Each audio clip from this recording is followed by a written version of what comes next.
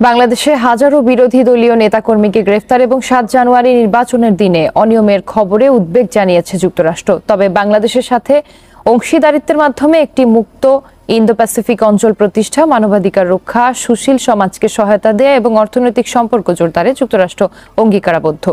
নির্বাচনে আওয়ামী লীগ জয়লাভ করার বিষয়টি উল্লেখ করে মার্কিন পররাষ্ট্র দপ্তর সোমবার এক বিবৃতিতে জানায়, নির্বাচন অবাধ ও সুষ্ঠু হয়নি বলে অন্যান্য পর্যবেক্ষকদের সাথে যুক্তরাষ্ট্রও একমত। পাশাপাশি সব রাজনৈতিক দল নির্বাচনে অংশ না নেওয়ার বিষয়টি দুঃখজনক বলে আখ্যা দিয়েছে যুক্তরাষ্ট্র। নির্বাচন সুষ্ঠু না হওয়ায় বাংলাদেশের সাথে বাণিজ্যিক সম্পর্ক ছিন্ন করতে আন্তর্জাতিক সম্প্রদায়কে হিউম্যান রাইটস ওয়াচের বিবৃতি। এরপর থাকছে, নির্বাচন সুষ্ঠু হয়নি, স্বীকৃতি না দিতে অস্ট্রেলিয়ার সিনেটরের আহ্বান। সবশেষে দেখবেন, জানুয়ারির মধ্যে পদত্যাগ করে পুনরায় নির্বাচনে বাধ্য হলেন শেখ হাসিনা সরকার, থাকছে বিস্তারিত প্রতিবেদন। গত সাতই জানুয়ারি অনুষ্ঠিত দ্বাদশ জাতীয় সংসদ নির্বাচন অবাধ ও সুষ্ঠু হয়নি। এই নির্বাচনের ফলাফলকে বিশ্বের স্বীকৃতি দেওয়া উচিত নয়, এমন মন্তব্য করেছেন অস্ট্রেলিয়ার প্রভাবশালী senator David Shoebridge Australian Greens দলের এই নেতা বরাবরই বাংলাদেশে অবাধ, সুষ্ঠু, গ্রহণযোগ্য এবং অংশগ্রহণমূলক নির্বাচন নিয়ে সোচ্চার। নির্বাচনের আগেও নির্বাচনকে কেন্দ্র করে বাংলাদেশের ঘটনা প্রবাহ নিয়ে অস্ট্রেলিয়ার সংসদে তিনি গভীর উদ্বেগ প্রকাশ করেছিলেন। নির্বাচনের কিছুদিন আগে গত ডিসেম্বর মাসেও অস্ট্রেলিয়ার পার্লামেন্টের উচ্চকক্ষ সিনেটে এক বক্তৃতায় ডেভিড সুব্রিজ বলেছিলেন, ব্যাপক রাজনৈতিক অস্থিরতা এবং রাজনৈতিক দমনপীড়নের মধ্যেই আগামী বছরের সাতই জানুয়ারি বাংলাদেশে নির্বাচন অনুষ্ঠিত হবে। সুষ্ঠু নিয়মনীতি এবং প্রক্রিয়া না থাকায় ওই নির্বাচনে দেশটির প্রধান বিরোধী দল অংশগ্রহণ করবে না। সামাজিক যোগাযোগ মাধ্যম এক্সে তিনি যুক্তরাষ্ট্র ভিত্তিক আন্তর্জাতিক মানবাধিকার সংগঠন হিউম্যান রাইটস ওয়াচ প্রকাশিত বাংলাদেশের নির্বাচনে সহিংস স্বৈরাচারী দমনপীড়ন শীর্ষক এক বিজ্ঞপ্তির লিঙ্ক শেয়ার করে লিখেছেন বাংলাদেশের নির্বাচন অবাধ নয়, এটি সুষ্ঠু নির্বাচনও নয়। যে নির্বাচন সুষ্ঠু নয়, সেই নির্বাচনের মিথ্যা ফলাফল যাই হোক না কেন, তাকে বিশ্বের স্বীকৃতি দেওয়া উচিত নয়। দ্বাদশ জাতীয় সংসদ নির্বাচন শেষে টানা চতুর্থবারের মতো সরকার গঠন করেছে আওয়ামী লীগ সরকার। নির্বাচন সুষ্ঠু এবং অংশগ্রহণমূলক হয়নি বলে জানিয়েছে যুক্তরাষ্ট্র। এরপর নির্বাচন নিয়ে বিবৃতি দেয় যুক্তরাজ্য, কানাডা এবং অস্ট্রেলিয়া। গণতান্ত্রিক পরিবেশ তৈরির আহ্বান জানিয়ে মন্তব্য করেন জাতিসংঘের মানবাধিকার হাই কমিশনার ভলকাতুর। এবার প্রতিবেদন প্রকাশ করেছে আন্তর্জাতিক মানবাধিকার সংগঠন হিউম্যান রাইটস ওয়াচ। এইচআরডব্লিউ এর দুই হাজার চব্বিশ সালের বৈশ্বিক মানবাধিকার পরিস্থিতি নিয়ে বাৎসরিক প্রতিবেদনে বাংলাদেশের বিভিন্ন তথ্য তুলে ধরা হয়। প্রতিবেদনে বলা হয়, সাতই জানুয়ারি বাংলাদেশে অনুষ্ঠিত নির্বাচনের ভোট প্রক্রিয়া অবাধ ও সুষ্ঠু হবে না এমন ধারণা থেকেই দেশটির প্রধান বিরোধী দল বিএনপি নির্বাচনে আসেনি, যা নির্বাচন এবং নির্বাচন প্রক্রিয়াকে প্রশ্নবিদ্ধ করেছে। প্রতিবেদনে এইচআরডব্লিউ এর ডেপুটি এশিয়া ডিরেক্টর তার এক বক্তব্যে বলেন, আন্তর্জাতিক অংশীদারদের পরিষ্কার বলে দিতে হবে, নির্বাচনী হয়রানি চলতে থাকলে তারা বাংলাদেশের সঙ্গে স্বাভাবিক ব্যবসায়িক কার্যক্রম আর চালাবে না। তাদের উচিত গণগ্রেপ্তার এবং বিরোধীদের ওপর দমনপীড়নের বিরুদ্ধে নিন্দা জানানো। দ্য গার্ডিয়ানের সম্পাদকীয়তে বলা হয়েছে, শেখ হাসিনা ওয়াজেদ বাংলাদেশের জন্য খারাপ সময় নিয়ে এসেছেন। দেশজুড়ে হওয়া সরকার বিরোধী বিক্ষোভের পর এই প্রক্রিয়া আরও ত্বরান্বিত হয়েছে।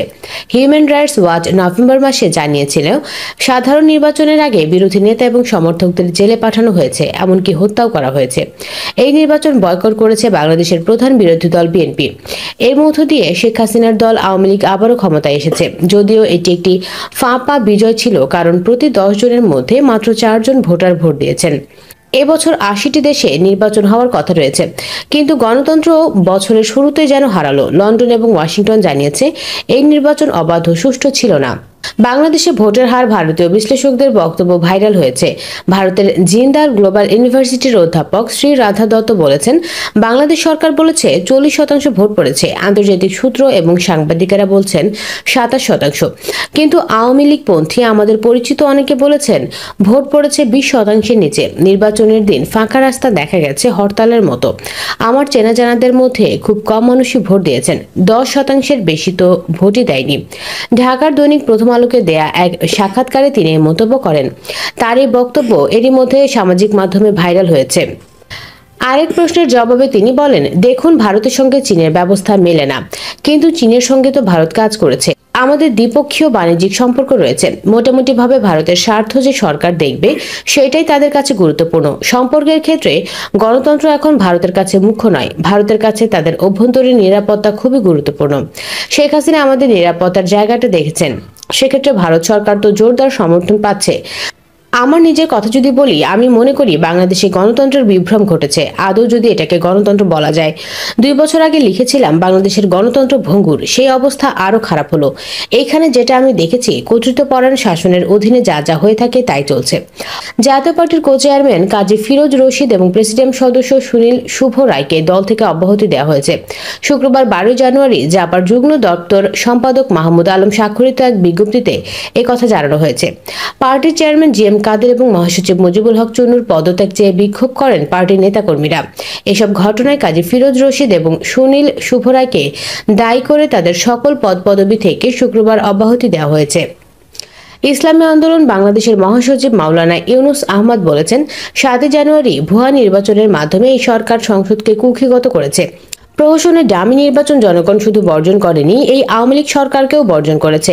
ডামি নির্বাচনে নির্বাচিত সংসদ সদস্যদের শপথ করানোর মাধ্যমে সরকারের নৈতিক পরাজয় হয়েছে। তিনি প্রহসনের নির্বাচন বাতিল করে জাতীয় সরকারের অধীনে নতুন তফসিল ঘোষণার দাবি জানান। বাংলাদেশ নিয়ে আবারও প্রতিবেদন প্রকাশ করেছে ভয়েস অফ আমেরিকা। রিপোর্টে বলা হয়েছে, বাংলাদেশে শেখ হাসিনার দল আওয়ামী লীগের টানা চতুর্থ মেয়াদে ক্ষমতায় ফিরে আসা ভারতের জন্য ভালো হয়েছে। বিশ্লেষকরা এমনটাই বলেছেন, যুক্তরাষ্ট্র এবং ব্রিটেন যুক্তরাষ্ট্র এবং ব্রিটেন অবশ্য বলেছে, দক্ষিণ এশিয়ার দেশটিতে হাসিনার শাসনকে প্রসারিত করা সাম্প্রতিক নির্বাচন বিশ্বাসযোগ্য, অবাধ বা সুষ্ঠু ছিল না। নয়াদিল্লির অবজারভার রিসার্চ ফাউন্ডেশনের অধ্যয়ন এবং পররাষ্ট্রনীতির ভাইস প্রেসিডেন্ট হর্ষ ভি পান্তের মতে, সেজন্যই বাংলাদেশে, যার সঙ্গে ভারতের দীর্ঘস্থল সীমান্ত রয়েছে, বন্ধুত্বপূর্ণ সরকার ভারতের নিরাপত্তার জন্য অত্যন্ত গুরুত্বপূর্ণ। পন্ত বলেন, হাসিনার ক্ষমতায় আসার আগে ঢাকা দিল্লি সম্পর্কের ক্ষেত্রে অনেক অস্থিরতার সম্মুখীন হয়েছিল ভারত। কিন্তু দুই হাজার নয় সালে ক্ষমতা নেয়ার পর থেকে তিনি অবিচল এক মিত্র ছিলেন। চীনের ক্রমবর্ধমান উপস্থিতির মতো বহু ব্যথার মুখোমুখি ভারত খুবই চ্যালেঞ্জিং প্রতিবেশী অঞ্চলে বাস করার প্রেক্ষিতে ভারত যে তাকে ক্ষমতায় অব্যাহত রাখতে চায় এটাই স্বাভাবিক। টানা চতুর্থবারের মতো জয়ী হওয়ার পর ভারতের প্রধানমন্ত্রী নরেন্দ্র মোদী অন্যদের মধ্যে প্রথম শেখ হাসিনাকে অভিনন্দন জানিয়েছিলেন। তিনি সামাজিক যোগাযোগ মাধ্যম এক্সে লিখেছেন, আমরা বাংলাদেশের সঙ্গে আমাদের স্থায়ী এবং জনকেন্দ্রিক অংশীদারিত্বকে আরও জোরদার করতে প্রতিশ্রুতিবদ্ধ। অন্যদিকে হাসিনা নিজের বিজয়ের পর আয়োজিত সংবাদ সম্মেলনে ভারতকে মহান এক বন্ধু বলে অভিহিত করেন। বিশ্লেষকদের মতে, ভারতের জন্য সর্বাধিক অগ্রাধিকার হল তার কৌশলগত স্বার্থ। তারা জানান, হাসিনা ভারত ও চীন উভয়ের সঙ্গেই ভারসাম্যপূর্ণ সম্পর্ক রেখেছেন। বেইজিং নিজের বেল্ট অ্যান্ড রোড ইনিশিয়েটিভ এর মাধ্যমে দক্ষিণ এশিয়ার ছোট দেশগুলোতে নিজের পায়ের ছাপ উল্লেখযোগ্যভাবে প্রসারিত করেছে। বাংলাদেশের পররাষ্ট্রমন্ত্রী আব্দুল মোমিন নির্বাচনের পর ইন্ডিয়া টুডে টেলিভিশনকে দেয়া এক সাক্ষাৎকারে বলেছেন, আমরা যে কোনো সাহায্য কিংবা তহবিল গ্রহণের ক্ষেত্রে খুব বিচক্ষণ, তাই জনগণের এমন ভয় পাওয়া উচিত নয় যে বাংলাদেশ চীনাদের কাছে আত্মসমর্পণ করবে। বিশ্লেষকরা বলছেন, বাংলাদেশে হাসিনার ধারাবাহিকতা নয়াদিল্লির জন্য স্বস্তির কারণ। নতুন সরকারের সামনে তিনটি চ্যালেঞ্জ আছে বলে জানিয়েছেন ক্ষমতাসীন আওয়ামী লীগের সাধারণ সম্পাদক এবং নবগঠিত সড়ক পরিবহন এবং সেতুমন্ত্রী ওবায়দুল কাদের। এই তিনটি খাতে বিশ্ব সংকটের যে বাস্তবতা, তার প্রতিক্রিয়া থেকে বাংলাদেশকে রক্ষা করা অত সহজ কাজ নয়। তিনি বলেন, সরকারের সামনে রাজনৈতিক, অর্থনৈতিক এবং কূটনৈতিক তিন চ্যালেঞ্জ রয়েছে।